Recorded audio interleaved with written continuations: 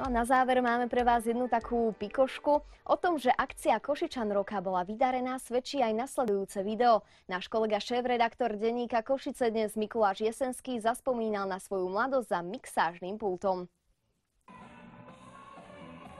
No, ten sobotný večerok bol pre mňa takým vítaným návratom do doby kamennej diskotéky, kedy hudba ešte bola hudbou a tanec tancom.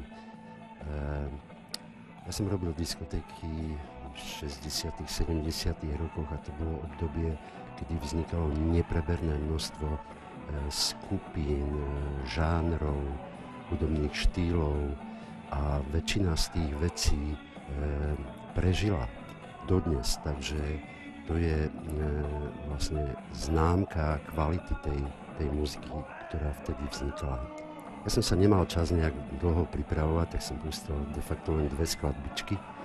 Všetky majú e, okolo 40 rokov. Prvá z nich bola od Earth, Wind and Fire e, September a druhá od e, Stevieho Wondera Wish. A presne tieto dve veci rozprúdili na parkete neuveriteľné peklo. Takže ja som veľmi rád, že som dostal tú príležitosť a určite som sa za DJ-ským pultom neobjavil posledný krát. Už a kolegom som slúbil, že na najbližšom team buildingu ich určite, určite zabavím.